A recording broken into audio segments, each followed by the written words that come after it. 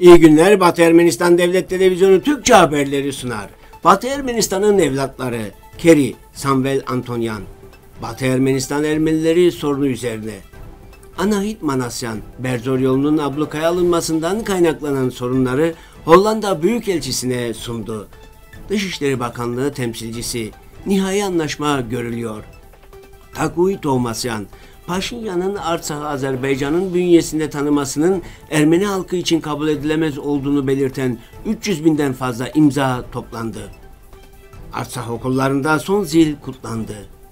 Köln'de üzerinde bu acı hepimizin yazılan Ermenilere uygulanan soykırım Armenosit kurbanlarının anısına dikilen nar anıtı yeniden kaldırıldı. Keri lakaplı Samuel Antonyan 15 Ocak 1967'de Cavak'ta doğdu. 1988 Şubat ayında sivil havacılık okulunda okumak için Kirovagrad'a gitmesi gerekiyordu. Ancak bileti Zvartnos havaalanında yırttı ve Artsakh Ulusal Kurtuluş Hareketi'ne katıldı. Sambel'in savaş yolu Ermenistan Cumhuriyeti'nin sınır bölgelerinden başladı. Hınzorut, Kornizor, Yereshavan. Her savaşa gitmeden önce Büyük Özverili Kurtuluş Savaşı lideri Keri'ye ithaf edilen Keri yani Dayı adlı şarkısını söylerdi. Bunun için arkadaşları ona Keri lakabını taktı. 9 Ocak 1991'de Keri son görevini yerine getirdi. Artsak'ta bir çocuk dünyaya gelecekti. Hamile kadının Kıhartsi köyünden Gişi köyüne nakledilmesi gerekiyordu. Kıhartsi köyü yakınlarında araba Azerilerin pususuna düştü. Azerilere karşı son nefesine kadar savaştı. Yaralı bedeniyle daha önce kocası ölmüş hamile kadının üzerini örttü. Tek başına savaştıktan sonra kahramanca şehit düştü. Düşüncelerini dile getirdiği defterinde bağımsız vatan ve milli ordu ile ilgili birçok notu vardı. Ne olursa olsun memleketin askeri olmak gerekiyor.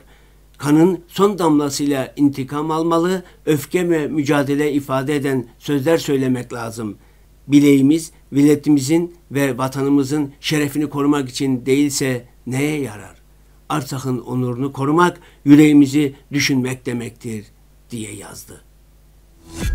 Ermenilere yönelik soykırım Armenosid'in tanıklarından biri, Türkiye uyruğu altındaki bir Arap, Harbert Vali Yardımcısı ve daha sonra Şam'da çalışan bir avukat olan Fayez El Hoseyni'nin ifadesine göre Türk bakkalları minyatürlerle süslenmiş sayfalar da dahil olmak üzere birçok eski Ermeni el yazısı ve eski kitapların sayfalarını değersiz ambalaj kağıdı olarak kullandılar. Hamidiye katliamlarından günümüze Osmanlı İmparatorluğu topraklarında Ermeni güzel sanatları ve uygulamalı sanatlarının kayıpları çok büyüktü. Ermeni ve yabancı uzmanlar tarafından yapılan çok sayıda araştırmaya dayanarak Ermeni manastırlarında ve kiliselerinde saklanan minyatürlerle süslenmiş ortaçağ el yazmaları freskler, kutsal resimler, heykeller, haçkar anıtları ve haç heykelleri, çeşitli uygulamaları, sanat örneklerinin kasıtlı olarak imha edilmesi ve tahsis edilmesinin dikkate değer örnekleri ortaya çıkıyor. Bu o dönemde yaşanan ve bugün bile düzenli olarak devam eden kültürel vandalizme tanıklık ediyor.'' 1894-1896 Hamidiye katliamlarını Jön Türkler tarafından planlanıp yürütülen kitlesel Ermeni katliamları olan Armenosit izledi. Ermeni halkına zulmedildiği, tarihi vatanlarından sürüldüğü yıllarda Sultanahmet ve ardından Jön Türk hükümeti Ermeni halkını ortadan kaldırmanın yanı sıra asırlık Ermeni medeniyetinin ve kültürünün tüm maddi delillerini de yok etmeyi amaçlamıştır. Hamidiye katliamları ve özellikle Ermenilere yönelik soykırım Armenosit yıllarında olağanüstü bir tarihi, manevi ve sanatsal değerleri temsil eden ortaçağ mimarimiz telafisi mümkün olmayan kayıplara uğradı.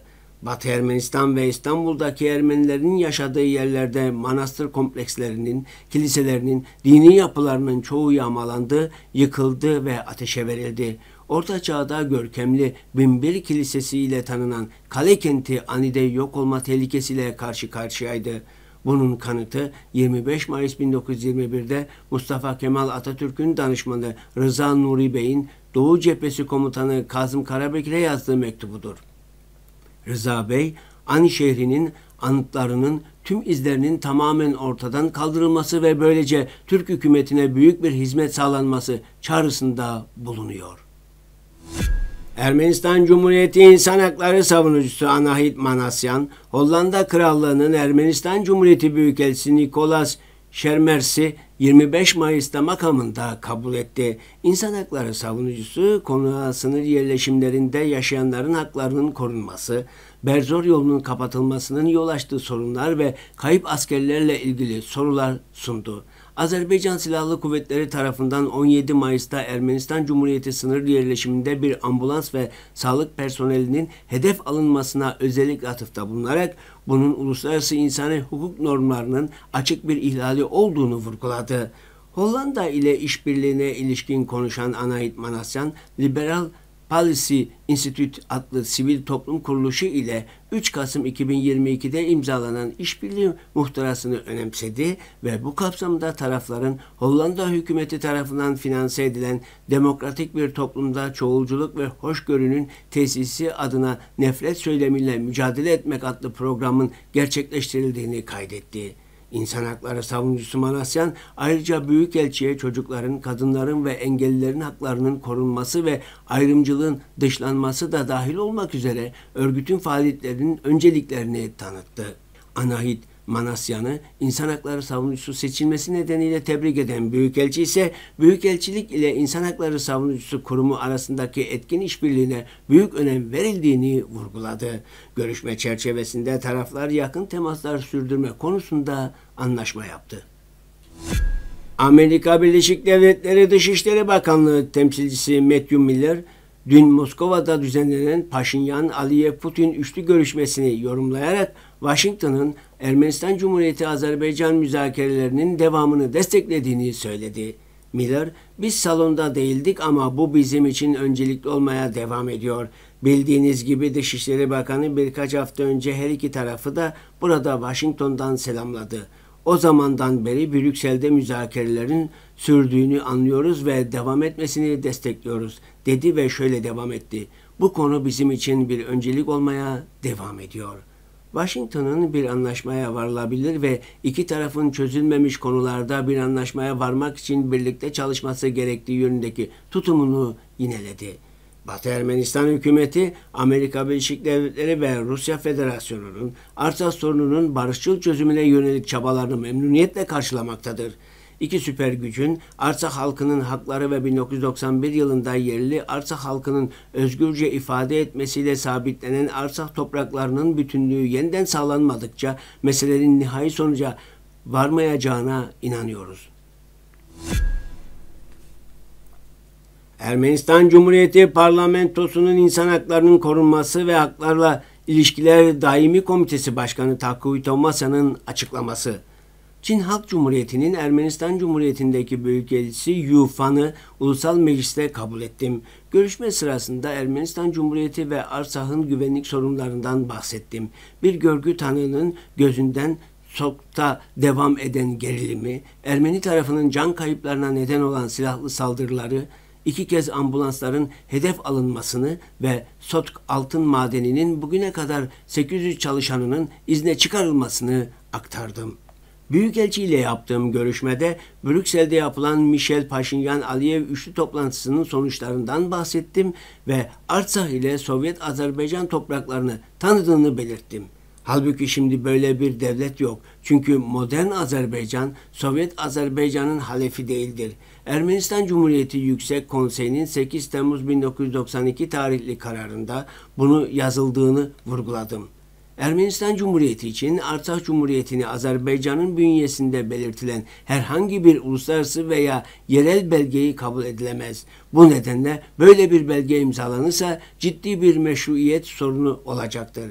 Girişimimle gerçekleştirilen Artsakh etnik temizliğine hayır imza toplama sürecini ve sonuçlarını anlattım.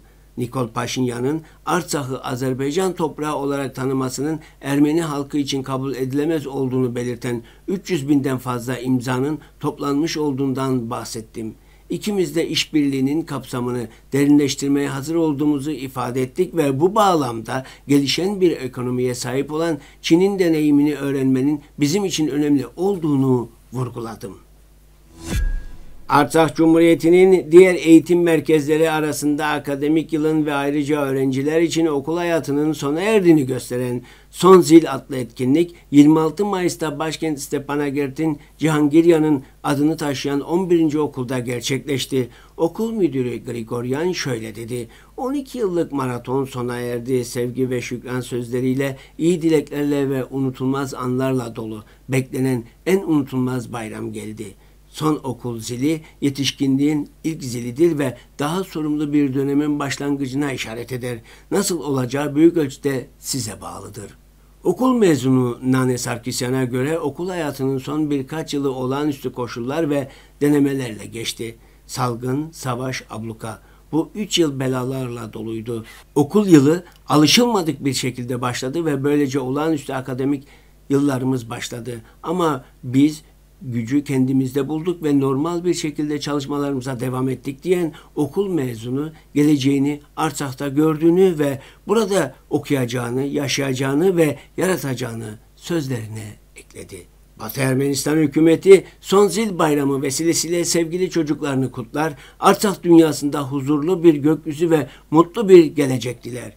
Eminiz ki sizler yiğit arsa halkının torunları olarak hiçbir zorluğa karşı pes etmezsiniz ve dedelerinizin, babalarınızın işini devam ettireceksiniz ve yerli halk olarak haklarınızı savunarak hepimizin kutsal ana vatanın nihai kurtuluşu sorununu muzaffer bir şekilde sona erdireceksiniz.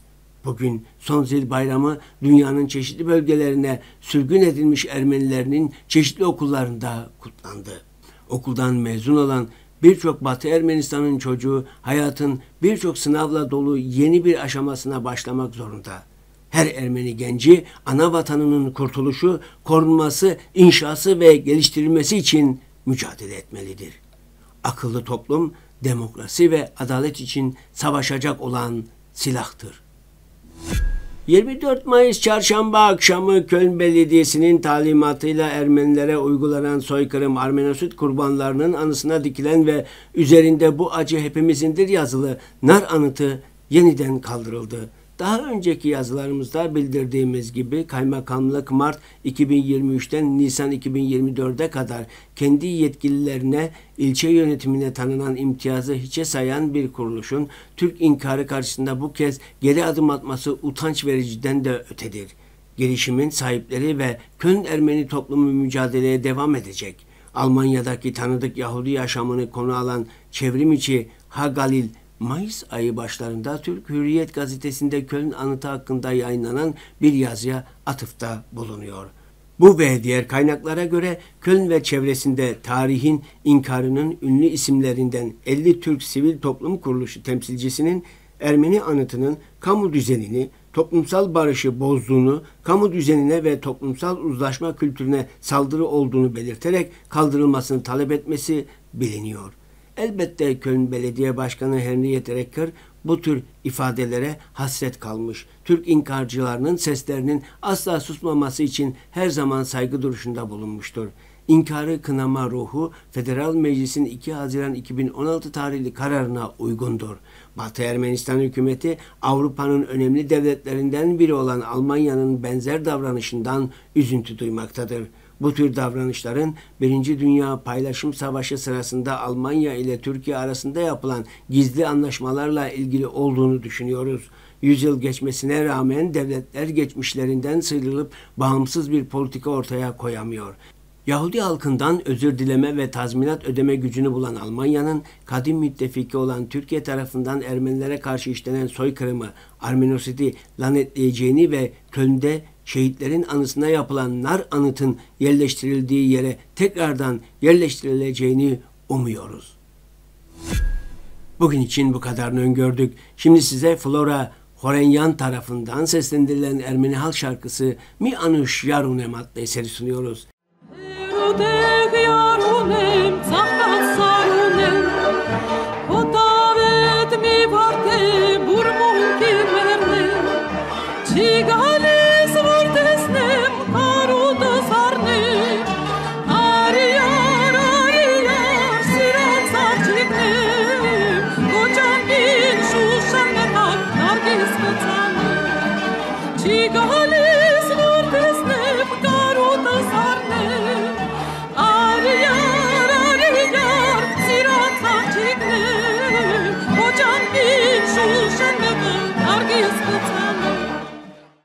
Eserin tamamını Batı Ermenistan Devlet Televizyonu'nun resmi sitesinden izleyebilirsiniz. Hoşçakalın.